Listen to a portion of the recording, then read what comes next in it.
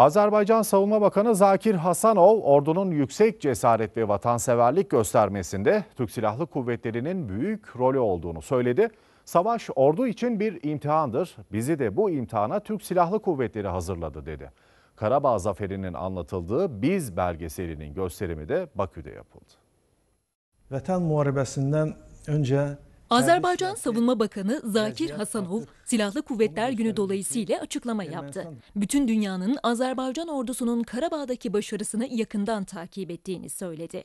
Azerbaycan ordusunun gösterdiği kabiliyet, cesaret ve vatanseverlikte Türkiye'nin büyük rolü olduğuna vurgu yaptı. müharibə bir silahlı qüvvələr üçün bir imtahandır. İmtahanı verdik biz. Ancaq imtahana bizi hazırlayırdı Türk Silahlı Qüvvələri. Bizim zabitlər orada təhsil alırdılar, hərbi təhsil alırdılar. Bizim hissə və birləşmələr orada təlimlər keçirdilər. Azerbaycan Savunma Bakanı, Şuşa beyannamesiyle iki ordu arasında yüksek seviyede entegrasyonun sağlanacağını kaydetti. Bu bəyannamədə hərbi əməkdaşlıq bir millət, iki dövlətin, iki ordusunun yüksək səviyyədə inteqrasiyasını təşkil etməyə işarə edir. Bu sənəd artıq e, tam ən yüksək səviyyədə iki ordunun inteqrasiyasını e, inteqrasiyasını göstərişidir. Muharebe başladı.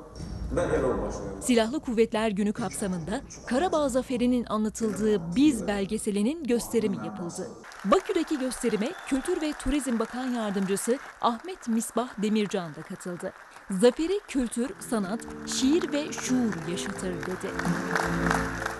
Karabağ Zaferi'ni, şiirini yazacağız ki okunsun.